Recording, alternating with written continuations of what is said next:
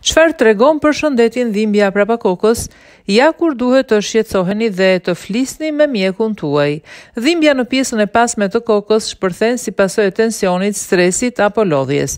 Ajo shpesh mund të shfaqet si rezultat i hernies diskale ose ndonjë lëndimi të mundshëm në pjesën e sipërme të qafës. Simptomat e dhimbjes së kokës mund të jenë të ndryshme. Dhimbja në pjesën e prapme të kokës mund të shoqërohet me disa simptoma ndaj të cilave duhet të jeni të vëmendshëm.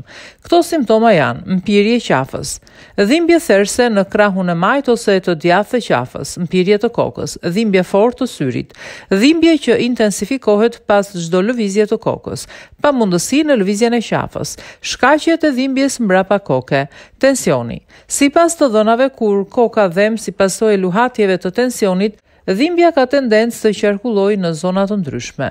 Kompresat dhe dushi i ngrohtë ndihmojnë kundër dhimbjes së bashku me mbajtjen nën kontroll të stresit. Lëndimet e qafës.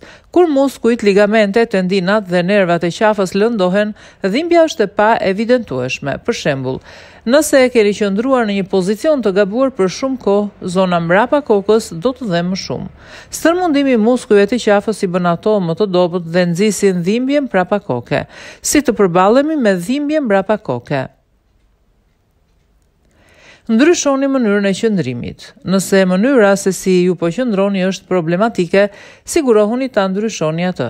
Në rast se punoni përpara kompjuterit, sigurohuni që ekrani të jetë i ngritur dhe që qafa të mos qëndrojë e ulur. Aktivitet fizik. Aktiviteti fizik është shumë i mirë për të forcuar muskujt dhe për të përmirësuar qëndrimin. Kompresat e ngrohta. Vendosni një kompresë të ngrohtë pas koke dhe mbajeni për 20 minuta për të ulur dhimbjen dhe zbutur inflamacionin. Kur duhet të shqetësoheni? Ju këshillon se është shumë e rëndësishme që të konsultoheni me një mjek në rastet kur dhimbja e kokës përkeqësohet me kalimin e kohës, kur keni vështirësi në lëvizjen e krahut dhe ndjeni dobësi muskulare. Vëreni një rënie të shpejtë në peshë. Pësoni fraktura të shpeshta. Keni vështirësi në ecje.